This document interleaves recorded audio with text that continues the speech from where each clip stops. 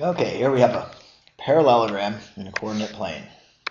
Yay, really fun, right? Well, it's not too bad. Let's work through this one together and see what the best way is to go about this. So we have points P, points O, which are the origin, point R, and point Q. So, coordinates of point P are 2, 4. Also, though it's not necessarily explicitly given, points of the origin where point O is, points of the origin are always 0, 0. And then finally, point Q, we have 8, 6. We have to figure out what are the coordinates of point R.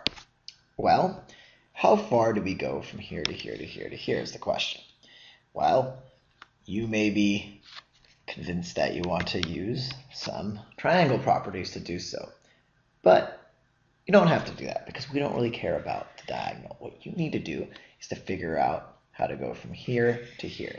How far are we going? Well, if this is a parallelogram, this side, oops, actually, I'll draw it right here, from here to here is equal to from there to there. So how far is this from point P, and let's just call this point N, which will get us right below 8, 6. Well, if we look at the x coordinate, here's 2, here's 8, it shifts over 6. So we go from the origin from 0, shifts over 6, so now we know that point R has an x coordinate of 6. That's all you have to do.